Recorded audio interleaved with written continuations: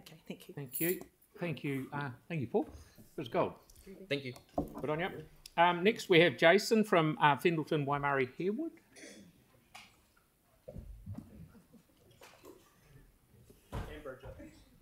Canberra.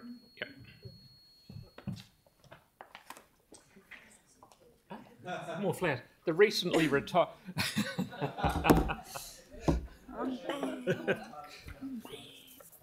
Okay, Good to see you again. thanks. Thank you so much. Yesterday was very special. Um, all right. Okay, we're starting. Um, tēnā koutou katoa. So, kia ora everyone. Uh, on behalf of the Submissions Committee for the Waimāero, Fendalton, Waimairi, Harewood Community Board, we'd like to take a moment to express our gratitude. The effort and dedication invested by every member of this council and the hard-working staff in shaping the draft LTP cannot be overstated. We appreciate that a lot of effort, time, and energy has gone into the draft of this LTP. And we understand that everyone involved in this process contributes from a place with the intention to provide a foundation that roadmaps a brighter future for Ōtautahi Christchurch. However, how we get there is different for everyone.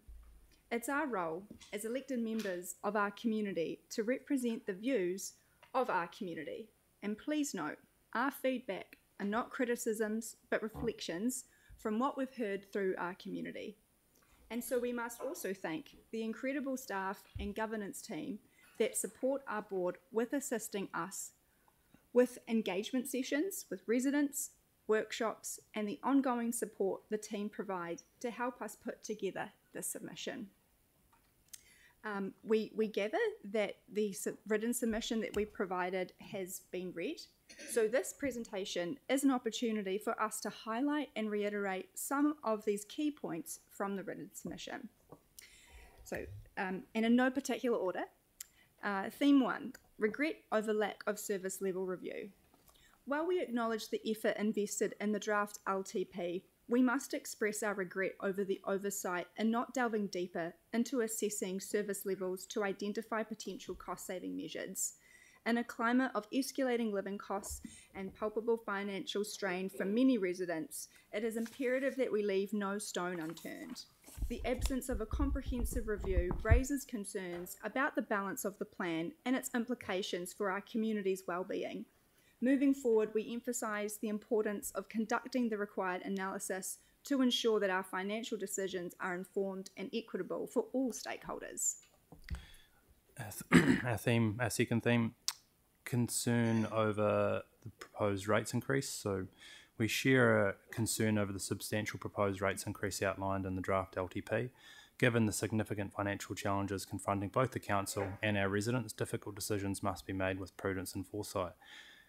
The absence of a comprehensive review of service levels is a missed opportunity, as it could have potentially unearthed avenues for cost savings and efficiencies. We must reassess our approach to strike a balance between maintaining essential services and infrastructure while alleviating the financial strain on residents.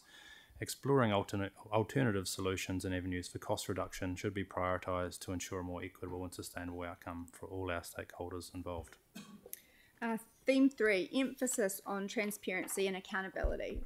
So, transparency and accountability are foundational principles in our governance. We must ensure that every decision reflects the needs and expectations of our community. The lack of clarity surrounding operational spending and resource allocation raises concerns about the inefficiency and misalignment within with community priorities. Conducting a thorough level levels of service review could not only have provided opportunities to optimize operational spending and allocate resources where they can deliver the greatest value for our community, but would put more trust back into council too. Specific concerns such as the lack of maintenance budgets for certain assets highlight the need for a more nuanced approach to resource allocation that addresses community expectations and priorities. And one of the examples that we put in our written submission is um, around the sculptures throughout the Northwood area. uh, urgency of essential projects. So, as a board, we appreciate that submitting on the draft LTP is not an opportunity to provide a Christmas wish list, especially as we know that for every project we ask, the, this has a direct hit on the ratepayer and its residents in our ward. that get hit hardest with rates. However, we cannot overlook some of the essential projects that have been removed from the LTP. One project is the Sawyers Arms Greers Northcote intersection improvement project, which has been removed. This intersection is dysfunctional in its current state, and improvements have been promised to the community for a number of years. The board highlights that 14 transport projects within our ward have been removed from the LTP. Of those, this is the one we are most concerned about retaining. Uh, theme five is importance of evidence-based decision making. So, in all our endeavours, we must adhere to evidence based decision making. Transparent and robust evidence is essential to justify investments and ensure that resources are allocated effectively to address community needs and priorities. And in the feedback sought, there were specific questions regarding reviewing levels of service and changing aspects of the capital program and spending. As explained above, it's difficult to answer this question when a thorough review was not undertaken the suggested climate fund.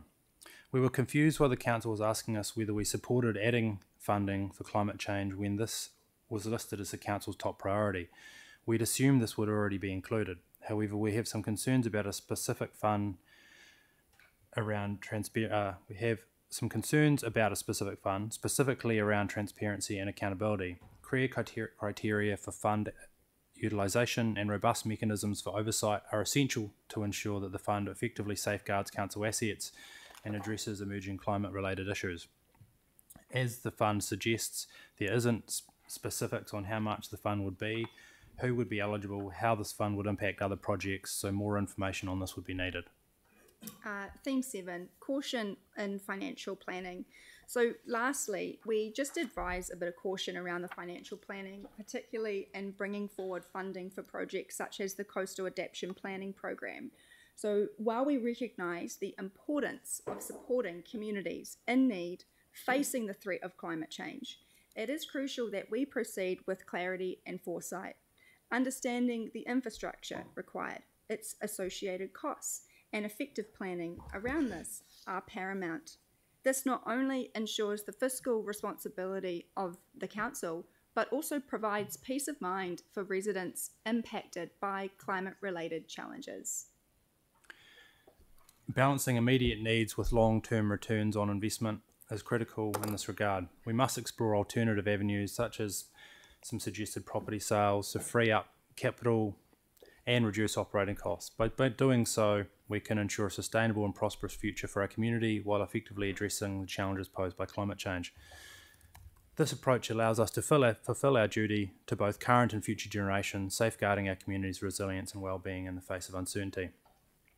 In conclusion, the board reaffirms its commitment to serving our community with transparency, accountability, and foresight. Together, let us navigate these challenges with resolve and determination, guided by the principles of good governance and the collective well-being of our community. Thank you for giving us the opportunity to share some of the key points from our submission. Thank you very much. Um, Sarah, please. Kia ora, thanks so much for that. I'm just wondering, you mentioned several times about the um, level of service review and a concern that it kind of hadn't been done. Did you um, get given access to? I mean, they were all online. All of the workshops, the public workshops that councillors did, had large agendas attached, which had all of the details of the levels of service and the proposed changes in those. Were you made aware of those at the time? We we were aware that those conversations were had. Um, the uh, the what would you say the the community feedback that we got was that the rates levels that are being proposed um, didn't go far enough, so that they were more interested in hearing about you know further things the council could do to make savings other than those that were already kind of that have been put forward.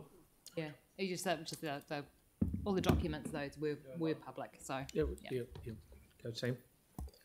I was probably just to clarify that one. So, uh, was your point around that was just around your expectation was the council would look at. You're disappointed the council didn't look into that to then provide the information to the community. Correct. Is that what you're saying? Yeah. Okay. Thank you. We've got another minute. Uh, uh, you've had one. Yep. Tyro. Uh, thanks for that. Um, really clear. The uh, just on the, the you mentioned the sculptures in, in Northwood. I was a little bit confused. Was there was that a you want more maintenance on all of those sculptures or less? Yeah, so that's just an example what, which we've come across where, um, with some of the developments that happen around town when these assets get handed over from the developer to the council, depending on the type of um, features or elements that have been, been put in by the developer, they're not included on the maintenance schedules at council.